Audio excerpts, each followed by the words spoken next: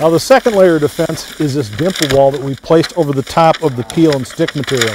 Now this has these dimples. This part right here goes up against the wall and it takes all the hydrostatic pressure off the wall in terms of water. So if any water gets behind the area up against this uh, peel and stick material, it just slides down the back. It doesn't have that pressure to, to push it into the wall.